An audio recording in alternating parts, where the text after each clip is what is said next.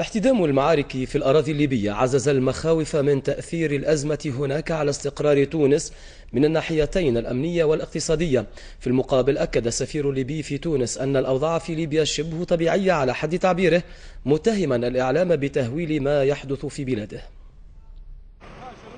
مع تصاعد حدة التوتر في الأراضي الليبية تتعزز المخاوف من تدفق آلاف الليبيين نحو تونس هربا من النزاع الدموي في بلادهم ما قد يجعل السلطات التونسية عاجزة عن تأمين حاجيات اللاجئين من جهة والارتفاع الذي قد تشهده بعض المواد الغذائية والعقارات من جهة أخرى حسب رأي بعض المحللين.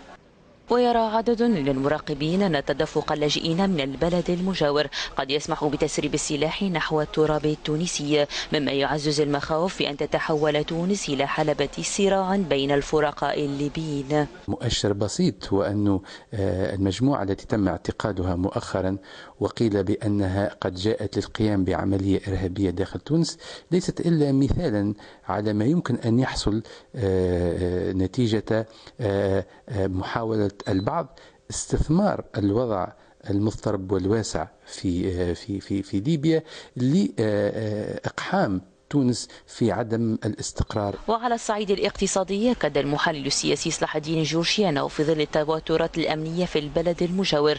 قد تشهد ظاهرة التهريب أوجه مما يساهم في إنهاك الاقتصاد التونسي المنهك أصلا. ويمكن إذا ما لا قدر الله اتسعت الرقعة الحرب الأهلية في تونس في في في في, في ليبيا فإن ذلك قد يصبح له تأثير مباشر على العملية الانتخابية وعلى الأجواء الانتخابية وعندها ربما نبدأ في التساؤل هل سيمكن تنظيم الانتخابات في المواعيد التي تحدث عنها أي قبل موفى السنة الجارية؟ ورغم تواتر الأنباء عن احتدام المعارك بين القوات الموالية للواء المتقاعد خليفة حفتر وبين المجموعات الإسلامية وأخرى مساندة للشرعية أكد السفير الليبي في تونس أن الأوضاع في ليبيا تتجه نحو الاستقرار متهما الإعلام بتهويل ما يحدث في ليبيا. في الأوضاع الاستثنائية مثل الوضع في ليبيا يعني تحدث أحيانا الاشتباكات وبعض المشاكل باستمرار ولكن تنتهي بسرعة و